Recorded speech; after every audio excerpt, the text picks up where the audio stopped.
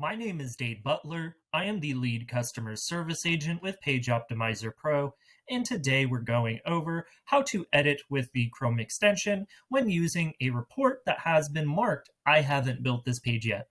If the page you have generated is marked as I haven't built this page yet, you can still edit on your page utilizing the Chrome extension. Opening up the page, you'll first want to select the Chrome extension. From here, click Click to Start.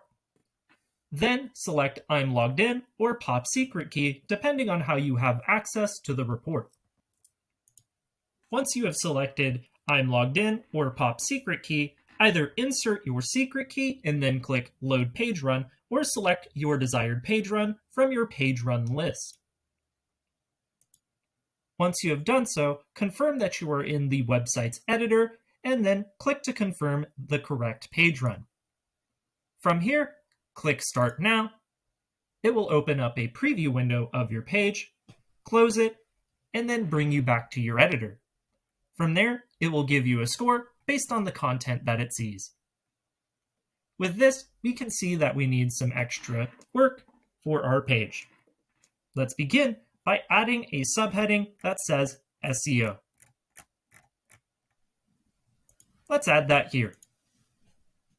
I'll click Add Block, Heading, set this to H2, and say SEO. That, I'll now save my draft, and then check my optimization score.